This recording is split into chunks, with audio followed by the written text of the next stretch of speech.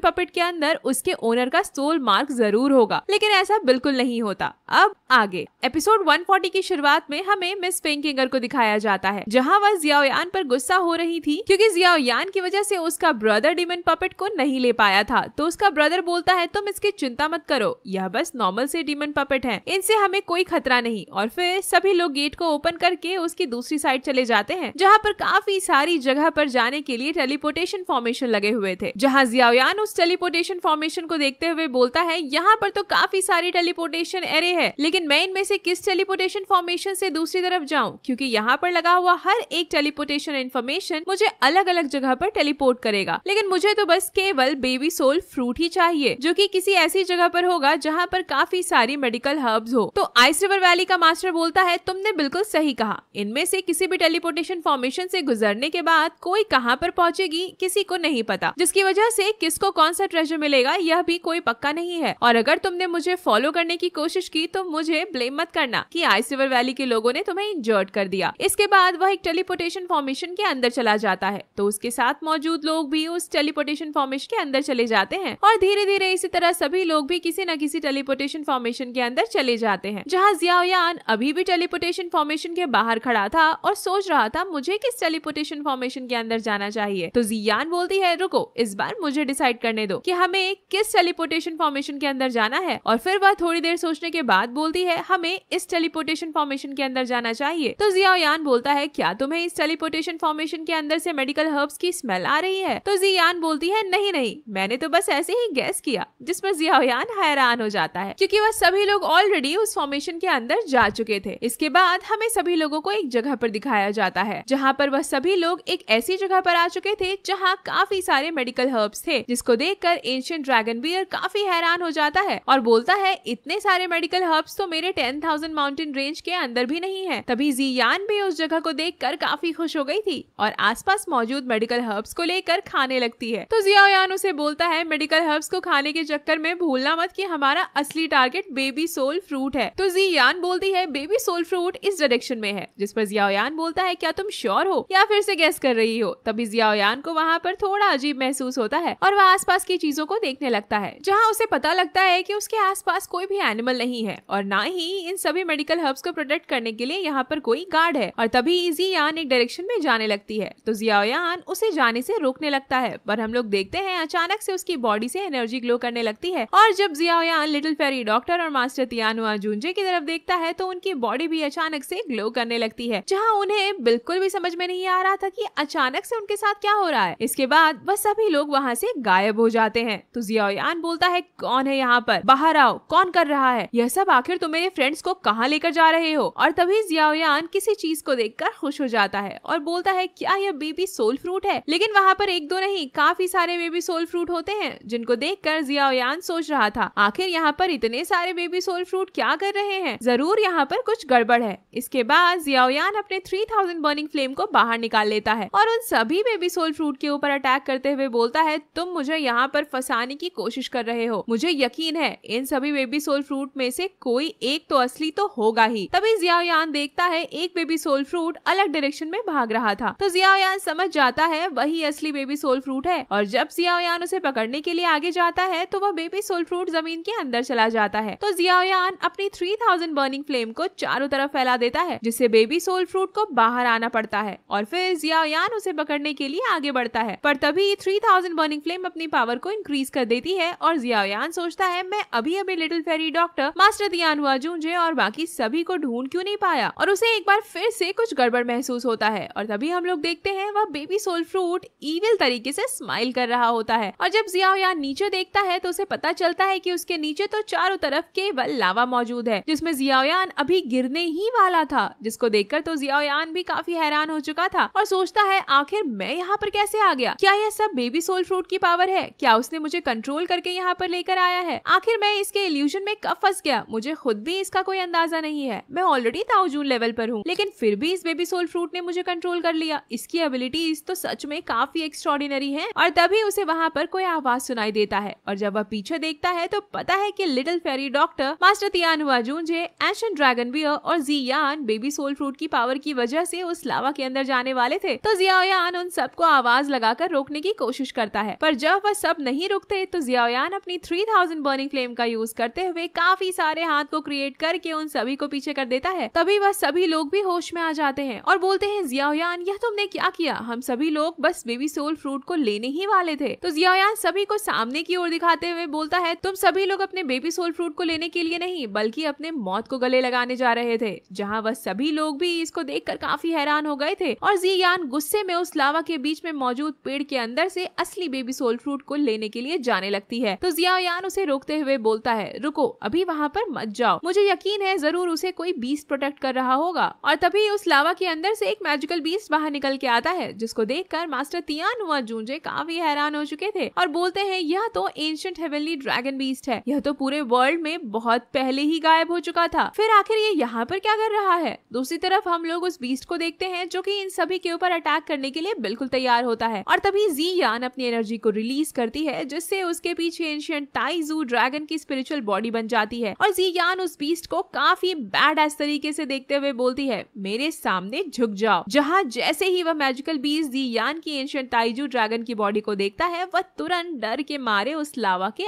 अंदर भाग जाता है और फिर जियान से बोलती है जियाओयान जाओ जाकर उस बेबी सोल फ्रूट को ले लो। अब तुम्हारे रास्ते में कोई भी मैजिकल बीस्ट नहीं आएगा। जहाँ जियाओयान बोल रहा था जियान तुम तो सच में काफ़ी पावरफुल हो तुमने तो मेरे इस काम को काफ़ी आसान कर दिया, जिसके बाद जियाओयान उस पेड़ के पास जाकर उसमें से बेबी सोल फ्रूट को ले लेता है और खुश होकर बोलता है फाइनली अब मास्टर की सोल पूरी तरह से रिकवर हो जाएगी। और तभी वह मैजिकल बीस्ट बाहर आकर रोने जैसी शक्ल बना लेता है, जिसको देख जियान बोलती है, जियाओयान, तुमने तो उस बेबी सोल फ्रूट को ले लिया, जिसको इस बीस्ट ने सालों से प्रोटेक्ट किया था। तो क्या हमें इसको बदले में कुछ नहीं देना चाहिए? तो जियायान बोलता है हाँ बिल्कुल, क्यों नहीं? इसके बाद वह सेवेंथ ग्रेड के एम्पर पिल को उस मैजिकल बीस्ट को दे देता है और बोलता है, ये पिल काफ़ी ज़्यादा पावरफुल है। इसको तुम अपनी बॉडी को ट्रेन करने के लिए यूज़ कर सकते हो। साथ में हो सकता है ये तुम्हारी बॉडी भी एक ह्यूमन बॉडी में ट्रांसफॉर्म कर दे, जिस पर वह मैजिकल बीस्ट भी काफ़ी खुश हो गया था। इसके बाद सभी लोग वहाँ से जाने लगते हैं। तो लिटिल फेरी डॉक्टर बोलती है जियायान अब जबकि तुम्हें बेबी सोल फ्रूट मिल चुका है तो अब तुम क्या करने वाले हो? तो जियायान बोलता है, अब जबकि हमें बेबी सोल फ्रूट मिल ही चुका है तो हम लोग इस ट्रेजर हॉल से तो बाहर ऐसे ही खाली हाथ नहीं जा सकते। मैं भी इस एंशियंट रूइंस को थोड़ा एक्सप्लोर करना चाहता हूँ। तभी मास्टर तियान हुआ जूंजे उस लावा में एक बॉडी को देखकर बोलते हैं, इस पर्सन को तो मैंने टेलीपोर्टेशन फॉर्मेशन के बाहर देखा था, जहाँ पर यह हमसे पहले ही किसी और टेलीपोर्टेशन फॉर्मेशन में एंटर कर चुका था, लेकिन इसकी बॉडी यहाँ पर पड़ी हुई है। इसका मतलब की सभी टेलीपोर्टेशन फॉर्मेशन एक दूसरे से कहीं न कहीं जुड़े हुए हैं। तो जियान बोलता है, तब तो हमें और अलर्ट रहना होगा, क्योंकि हमारे एनिमीज भी इस जगह पर आ सकते हैं। और तभी हम लोग जियान को देखते हैं, जो कि एक डायरेक्शन में काफ़ी गौर से देख रही थी। तो जियायान जियान से पूछता है जियान यह तुम क्या कर रही हो? तो जियान बोलती है, मुझे इस डायरेक्शन से ऐसा फील हो रहा है जैसे कि मुझे कोई बुला रहा है और यह जो भी चीज़ है, मुझे मेरी ब्लड लाइन से कनेक्टेड फील हो रही है। और तभी हमें दूसरी तरफ़ मिस पेंग किंगर और उसके ब्रदर को दिखाया जाता है, जहाँ मिस पेंग किंगर के ब्रदर को कुछ फील होता है। तो मिस पेंग किंगर अपने ब्रदर से पूछती है ब्रदर फेंग जुआन क्या हुआ? जिस पर फेंग जुआन बोलता है, मुझे अचानक से कुछ फील हो रहा है। मुझे ऐसा फील हो रहा है जैसे यहाँ पर कोई हमारे एंशियंट फीनिक्स ब्लड लाइन से हमें बुला रहा है। और फिर हमें जियान को दिखाया जाता है, जहाँ वह सभी को लेकर एक माउंटेन के पास आ चुकी थी और बोल रही थी, यहाँ पर कोई ऐसी चीज़ है जो मुझे बुला रहा है। तो मास्टर टियान हुआ जूझे बोलते हैं, यहाँ पर तो आसपास कुछ भी नहीं है तो फिर आखिर तुम्हें यहाँ से कौन बुला रहा है? तो जियान बोलती है, मैं गलत नहीं हूँ, मुझे यहीं से किसी के बुलाने की फीलिंग आ रही है। और फिर अपनी थोड़ी सी पावर को यूज़ करके उस माउंटेन को टच करती है और बोलती है, यह तो स्पिरिचुअल बीस्ट बैरियर है, जो कि मेरे एंशियंट वॉइड ड्रैगन क्लैन के किसी एंसेस्टर ने मरने से पहले बनाया था। और हम लोग देखते हैं, जैसे ही जियान अपनी पावर को यूज़ करती है, वहाँ उसके चारों तरफ़ एंशियंट ताइजू ड्रैगन की स्पिरिचुअल बॉडी आ जाती है, जिसके साथ ही जियान काफ़ी सैड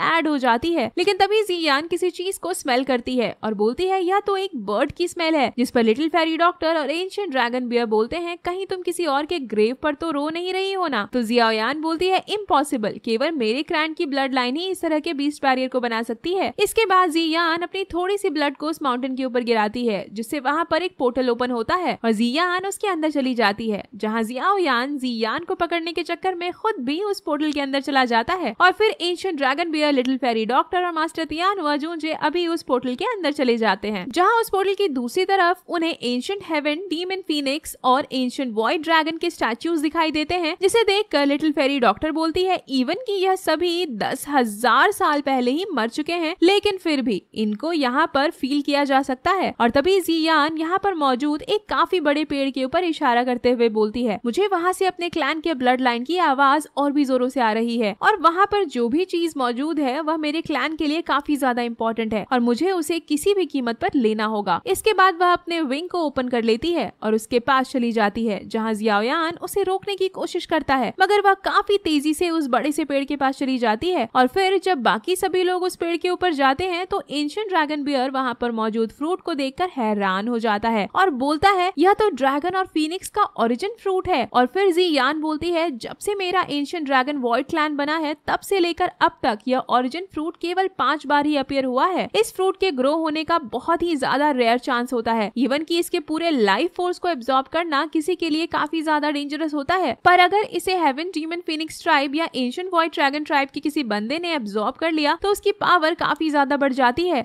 और उसकी ब्लड लाइन एकदम से प्योर हो जाती है, जिसको जानकर सभी काफ़ी हैरान होते हैं। और जियायान बोलता है, अगर यह fruit heaven demon phoenix tribe और एंशियंट वॉइड ड्रैगन ट्राइब का ओरिजिन फ्रूट है तो इसका मतलब कि मिस फेंग किंगर और उसका ब्रदर फेंग जुआन भी इसको सेंस कर सकता है और वह सभी लोग यहाँ पर आ सकते हैं। तो मास्टर तियान हुआ जूझे बोलते हैं, अगर ऐसी बात है तो हमें जल्दी से इस फ्रूट को छुपाना होगा। और सभी को जिस बात का डर था वही हो जाता है। यहाँ पर मिस फेंग और उसका ब्रदर फेंग जुआन ऑलरेडी पहुँच चुका था, जहाँ फेंग जुआन बोलता है, इसमें कोई आश्चर्य की बात नहीं कि मुझे यहाँ पर अपनी ब्लड लाइन महसूस हो रही थी। तो चलो, अब जल्दी से मुझे वह हेवन डीमन फीनिक्स और ancient void dragon origin fruit दे दो। तो मास्टर तियान व जूझे बोलते हैं लगता है तुम जागते हुए सपने देख रहे हो। अगर तुम्हारे अंदर इतनी ताकत है तो तुम इसको लेने की कोशिश कर सकते हो। और तभी वहाँ पर विंड लाइटनिंग पवेलियन का मास्टर भी आ जाता है और बोलता है, फेंग, तुम चिंता मत करो। मैं इन सभी को संभालता हूँ। तुम बस ओरिजिन फ्रूट पर ध्यान दो। जहाँ से जियाओयान उसे देख बोलता है, अब तो विंड लाइटनिंग पवेलियन भी यहाँ पर आ चुका है। यह थोड़ा सा प्रॉब्लमेटिक हो सकता है। जहाँ दूसरी तरफ़ जियान बोल रही थी, अगर origin fruit heaven demon phoenix tribe को मिल गया तो वह लोग सुप्रीम बीस्ट में इवॉल्व कर जाएँगे और उनकी पावर काफ़ी ज़्यादा बढ़ जाएगी, जिनके सामने मेरा एंशियन वॉय ड्रैगन क्लैन भी कुछ नहीं कर पाएगा, जो कि बिल्कुल भी अच्छा नहीं होगा। तो एंशियन ड्रैगन बियर बोलता है, मास्टर, आप चिंता ना करो। अगर इन सभी को इस फ्रूट को लेना है तो सबसे पहले मुझसे फाइट करना होगा। और फिर वह अपने एनर्जी को रिलीज़ करते हुए एंशियन ड्रैगन बियर की बॉडी में ट्रांसफॉर्म हो जाता है, जिसको देखकर टाइगर बीस्ट बोलता है, तुम्हारी इतनी हिम्मत कि तुम विंड लाइटिंग पवेलियन को रोकने की कोशिश करो। आज मैं तुम्हें अच्छा सबक सिखाऊँगा। इसके बाद उन दोनों के बीच फाइट की स्टार्टिंग हो जाती है। और फिर हमें मास्टर टियान हुआ जूझे को दिखाया जाता है, जहाँ वह वुल्फ बीस्ट से फाइट कर रहे थे। और little fairy doctor wind lightning pavilion के मास्टर के साथ फाइट कर रही थी, जहाँ दूसरी तरफ़ फेंग जुआन मिस फेंग किंगर से बोलता है, तुम्हें पता है ना क्या करना है? तो मिस फेंग किंगर बोलती है हाँ ब्रदर मुझे पता है। इसके बाद वह ओरिजिन फ्रूट की ओर जाने लगती है। तो जियायान उसे रुकने के लिए बोलता है, पर तभी हम लोग देखते हैं, फेंग जुआन अपनी एनर्जी को रिलीज़ करते हुए बोलता है, अब टाइम आ गया है की मेरा हेवन डीमन फेनिक्स ट्राइब एक बार फिर से अपनी ग्लोरी को अचीव करे। जहाँ जियायान तो फेंग जुआन को देखकर पूरी तरह ऐसी हैरान हो गया था और बोलता है, यह तो फाइव स्टार डाउजून पर है, जो की अभी तक इतने टाइम ऐसी अपनी एनर्जी को छिपा रहा था।